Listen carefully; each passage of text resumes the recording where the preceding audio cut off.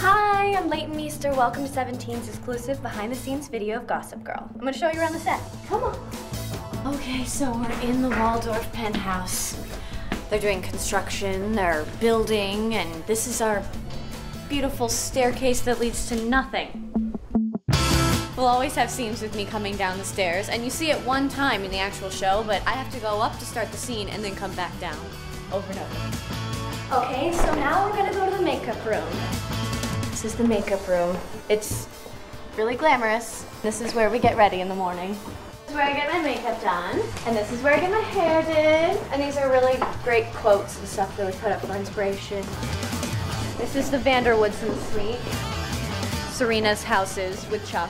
In real life, what I try to do is like find the good in people. That's not very Blair-like. The reason why I like playing her is even though she has so many problems and issues and completely out of her mind in so many ways, is that I found something about her that I really find human and likable, and that's why I'm able to play her all the time. Hi!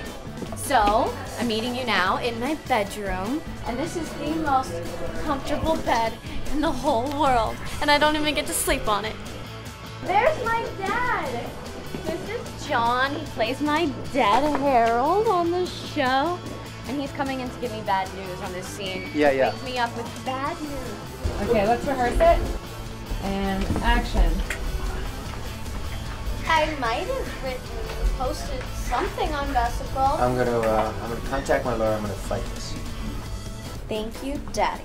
It takes about eight days, eight business days, to shoot an episode of Gossip Girl. One of the days per episode is shot tandem. We're shooting the first day of the next episode on the last day of the first episode, if that makes any sense. This is the wardrobe room. This is the tailor's dog, Lucy. Up there are all the clothes that we've worn over the past couple seasons.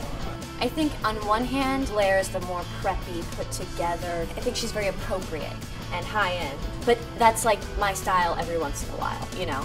Then also I have times where I'm more like Jenny. It's very rock and roll, kind of like cutesy too. Uh, Serena's style is very like boho, hippie, very free, not free, but freestyle, you know? In my daily life, what I wear usually is a jeans and t-shirt, as you can tell. Thank you guys so much for coming to visit me on the set of Gossip Girl, and I could show you around. It's my home away from home, so I'm so glad you could see it. Uh, check out 17's March issue on stands now, and don't forget to watch Gossip Girl on CW Monday nights at 8 o'clock.